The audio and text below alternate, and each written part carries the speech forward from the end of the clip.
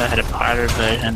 With the pirate version, it never let me do level select after I beat levels. And I tried to get all of the fucking achievements, like killing enemies special way in one shot.